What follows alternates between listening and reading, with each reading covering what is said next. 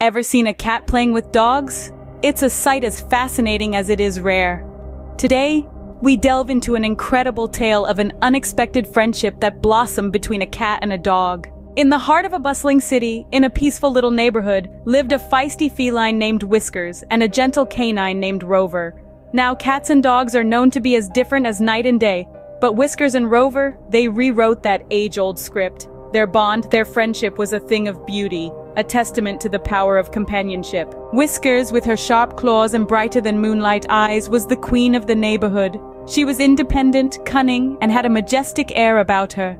On the other side of the fence lived Rover. He was a large, playful, and good-natured dog who loved nothing more than frolicking around his backyard and welcoming everyone with a wagging tail. Their worlds were vastly different, and yet destiny had a unique plan in store. A chance encounter over a shared fence led to a series of playful interactions. Whiskers, with her inherent curiosity, found Rover's playful antics amusing. Rover, on the other hand, was smitten by Whiskers' agility and spirit. Their friendship bloomed amidst shared adventures, shared meals, and even shared naps. Over time, Whiskers and Rover became inseparable. They would wait for each other every day, play together, and even protect each other from neighborhood bullies.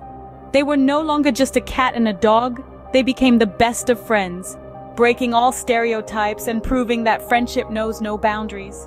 To summarize this heartwarming tale, we've seen how a cat named Whiskers and a dog named Rover formed an unlikely friendship. Their bond, which started over a shared fence, grew into a relationship that was deep and meaningful. They spent countless hours together, playing, eating, and even napping together.